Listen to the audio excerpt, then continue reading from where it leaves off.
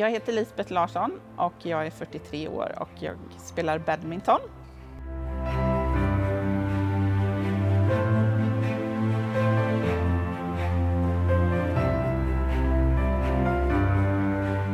Jag började med det i våras, så jag är ganska ny på det, men tycker att det är väldigt kul. Jag testade på det och tyckte att eh, det var väldigt kul och sen var det en väldigt inspirerande ledare som brann väldigt mycket för badminton.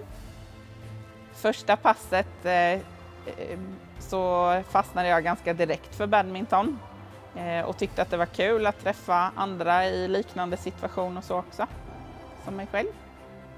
Tidigare så har jag tyckt att träning varit eh, ett nödvändigt ont men nu ser jag fram emot eh, träningarna, att träffa mina kompisar som jag tränar tillsammans med och eh, känna att det gör bra för kroppen att röra på sig.